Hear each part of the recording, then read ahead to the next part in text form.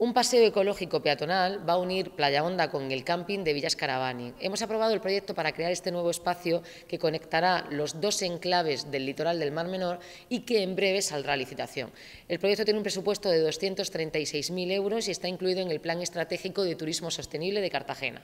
Se trata, en concreto, del tramo del litoral del Mar Menor entre Playa Honda y el camping Villas Caravani, en una zona con elevado tránsito peatonal de los residentes de La Manga, de Playa Honda, de camping Villas Caravani de Mar de Cristal, de Islas Menores y de los Nietos. Y con este paseo ecológico cumplimos una importante demanda de los vecinos de la zona, tanto de los que viven permanentemente en estas localidades como de aquellos que lo hacen durante el verano.